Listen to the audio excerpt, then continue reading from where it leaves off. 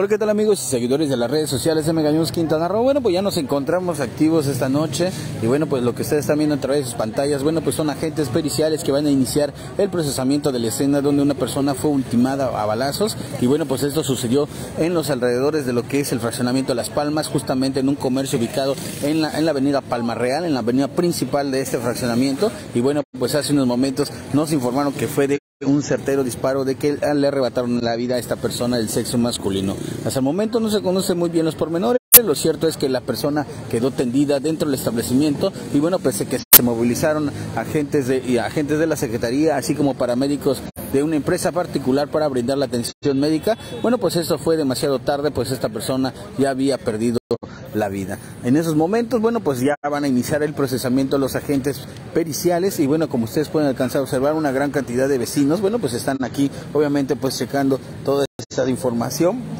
Bueno, pues obviamente ese es el pan nuestro de cada día en el municipio de Benito Juárez. Y bueno pues hasta el momento las autoridades están herméticas están de ese ladito. Vean ahí están nos ven medio raro. Pero bueno ya las autoridades van a iniciar los procedimientos correspondientes sobre este hecho.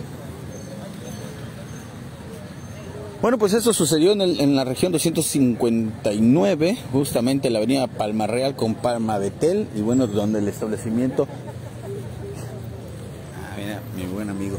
Bueno, pues el, el establecimiento que, que se encuentra ahí al fondo coronado, bueno, pues ahí quedó tendida esta persona del sexo masculino de un certero disparo fue como le arrebataron la vida, así que ya serán los ministeriales, así como los ministeriales quienes realicen las mayores indagaciones acerca de este hecho.